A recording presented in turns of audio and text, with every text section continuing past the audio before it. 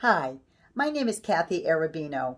For the past 30 years, I have been a full-time employed musician in New England, as have many other musicians in New England and also across our country. Since the onset of COVID-19 and the pandemic that hit our country, most musicians have been put out of work. Our businesses were shuttered, our venues closed, every place we would work, teach, help, perform, all of the things we do as musicians canceled and shut down. We need more financial assistance. We had some financial assistance with the Gig Workers Act and the PUA that lasted until the end of July.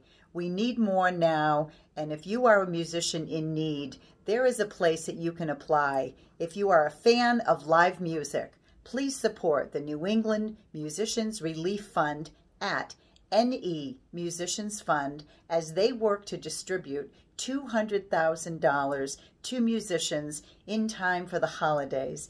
Donate now at nemrf.org.